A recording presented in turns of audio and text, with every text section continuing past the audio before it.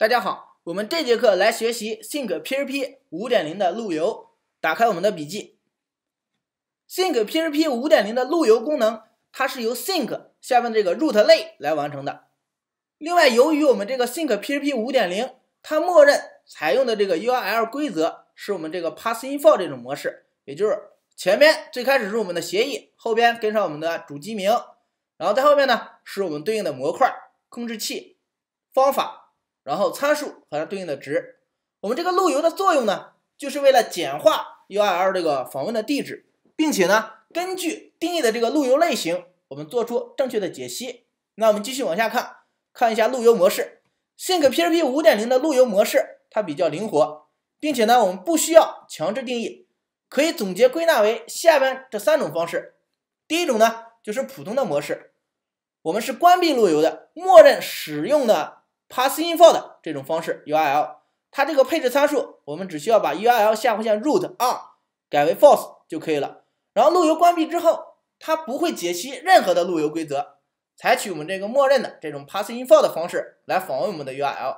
那第二种就是这种混合模式，要开启我们的路由，并且呢使用路由定义加上我们这个默认的 PassInfo 方式的这个混合。那第一个就是要把我们这个 URL 下划线 root on 改为 true，然后 U I R root must 这个值呢是 false。在这种方式下边，我们只需要对这个定义路由规则的访问地址定义一下规则就可以了。其他的呢，仍然按照第一种普通模式的这种 PassInfo 的方式来访问我们的 URL。那第三种就是这个强制模式，开启路由，并且呢必须定义路由才能够访问。我们要把这两个参数都设为 true。这种方式下面呢，我们必须严格的给每一个访问地址都得定义路由规则，包括我们的首页，否则呢它就会抛出异常。我们首页的路由规则采用这个斜线定义就可以了。比如说，我们下面把这个网站首页的这路由，我们来输出 Hello World，我们需要在这个 root 点 php 这个文件当中来配置我们的路由。首先呢，你要去使用一下 use 一下 sync 下面这个 root 类，然后呢，再来这里边定义一个对应的方法就可以了。那也就是说，我们以后要去改我们一些路由的这个规则。就需要去这个 root 点 php 这个文件当中去进行修改。那好，我们先来看一下刚才给大家讲的这几个配置参数在哪里。那打开我们的 TP5 框架，找到我们在 application 下边，它有一个 config 点 php，在这个里边，大家来找一下，这儿有一个 URL 设置，然后它这里呢有一个是否开启路由，然后 URL 下划线 root on。然后这里是开启路由的，然后这里还有一个是否强制使用路由，URL 下划线 root must，这里是 false。那你如果要修改配置文件呢，就来这里来修改。那如果说你要去定义一些自己的规则，你需要去这个 root 点 php 里边，在这个里边来定义。好，那我们就把刚刚给大家笔记里边这里面讲的这个修改我们首页的这个方法来给大家用一下。首先我们要 use 一下 sync 下边的这个。root 类，然后呢，通过这个 root 类，好，我们直接把这段代码来拷过来就可以了，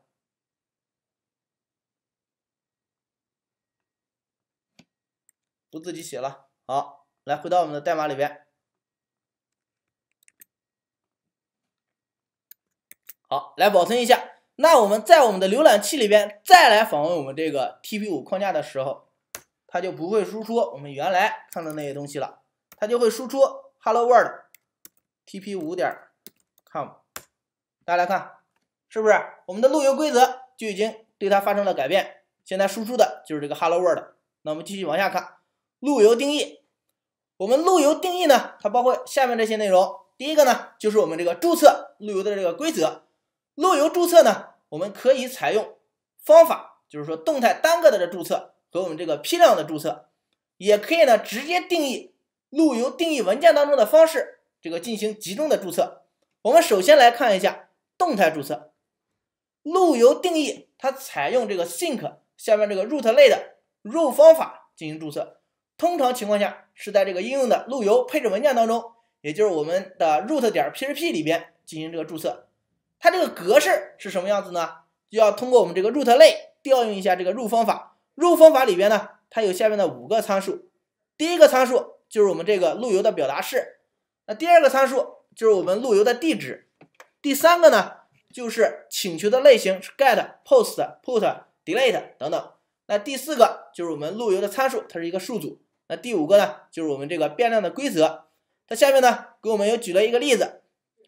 那第一个参数呢，就是这个你要去浏览器里边输入的这个路由表达式是什么样子的。它第二个参数就是注册路由到了哪一个模块下面的哪一个控制器下面的哪一个操作。那当我们再去通过这个定义的路由表达式去访问的时候，比如说你在这个浏览器里边那个路由地址里面输入这个 http 主机名，然后 new 跟一个 id 值的话。它就会自动路由到下面你定义的这个第二个参数里面哪一个模块下面的控制器下面的这个哪一个动作，并且呢，我们原来的访问地址它就会自动失失效了。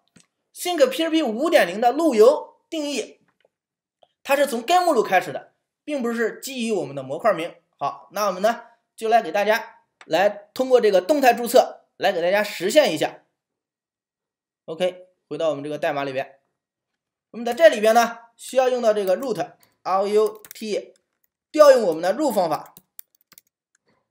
入方法，第一个呢是我们的定义的路由表达式 new，然后冒号 id，然后第二个参数就是在哪一个模块下面，哪一个控制器下面的哪一个方法。好，我们现在定义的是。Index 模块下面 index 控制器下面这个 list 的方法，我们来看一下有没有问题。大家来看是不是这样写的？好，那当我们再去浏览器里边访问的时候，它就会去调用我们这个 index 控制器下面的 list 的方法。那我们首先来看一下这个 index 控制器里边它有没有这个 list 的方法？没有是吧？好，那我们呢自己来给它定义一个 public function list 的方法。然后呢，我来返回一个东西，return，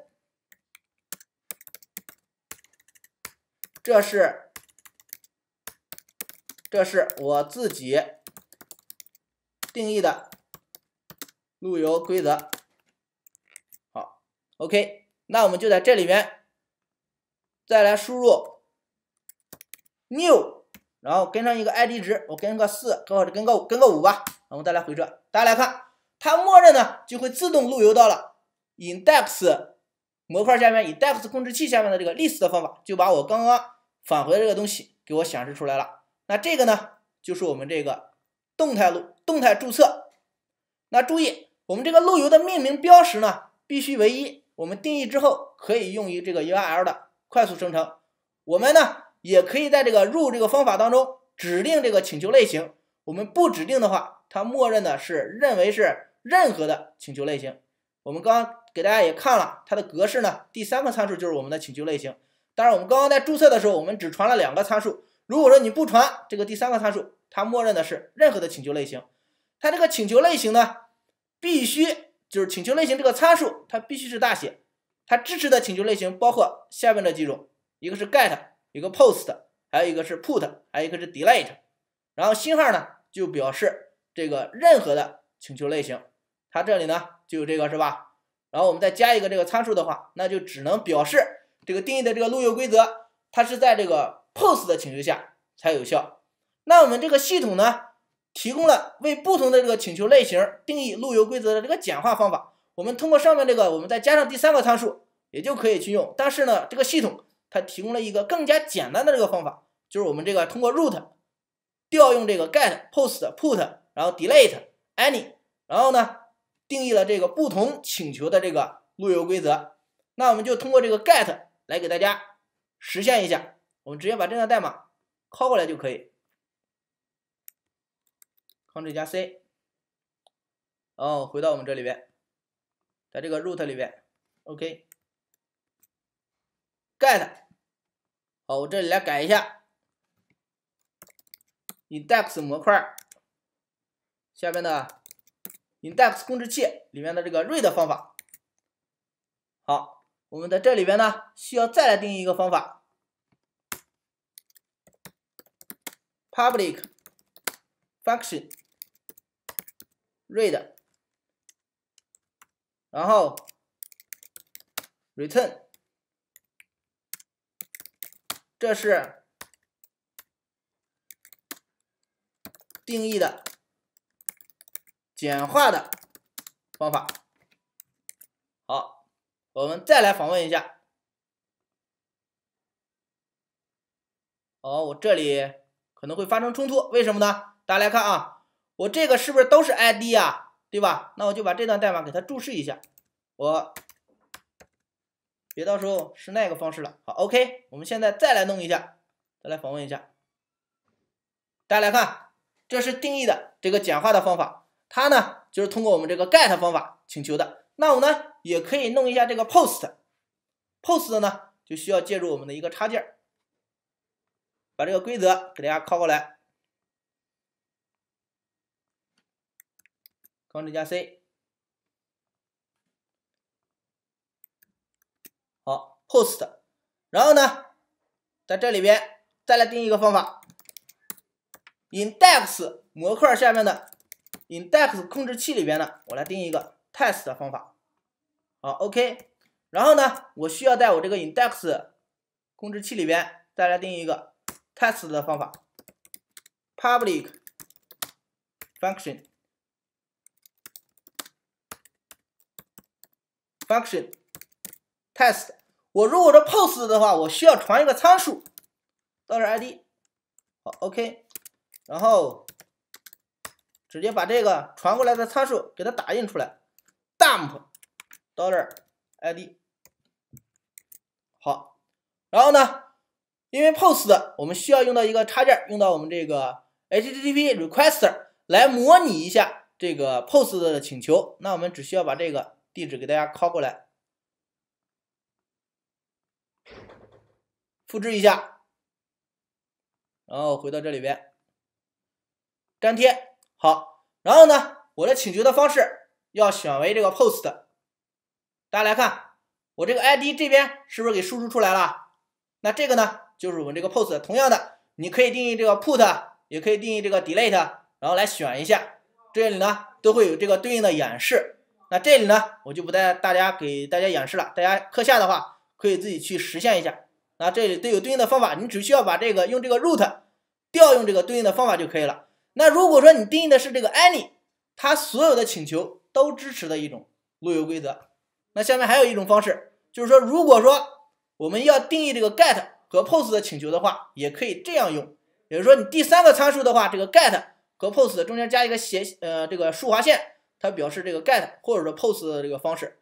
另外呢，我们也可以这个批量注册我们这个路由的规则，它是怎样子呢？就是说，通过这个以一个数组的形式来传过来。第一个，它是你定义的第一个路由规则，然后第二个呢，就是你定义的第二个的路由规则。那我们注册多个路由规则之后呢，它系统。也就会依次便利我们这个注册过的满足我们请求类型的这个路由规则。它一旦匹配到了这个正确的路由规则之后，它就开始调用这个控制器的这个操作方法。我们后续的规则呢，它就不再给我们检测了。那这个呢，是我们在这个通过这个动态注册去实现的这个注册路由。另外呢，我们也可以在这个配置文件里面去定义。大家来看，我们除了支持动态注册。也可以直接在这个应用目录下面的这个 root 点 php 里边，就通过这个返回数组的方式，直接这个定义路由规则。它这个示例呢如下，就是什么意思呢？我们可以打开我们这个 root 点 php，大家来看，它下边这里是不是有一个这个 return 啊？你只需要把你定义的这个路由规则给它加到这里边来就可以了。好，OK，我们把上面这些代码给它注释一下。为了实现这个演示的效果，好，那我们就在这里面把这个拷过来吧，Ctrl 加 C，加到这里边吧，Ctrl 加 V，New ID，然后写上这个 index 模块下面的 index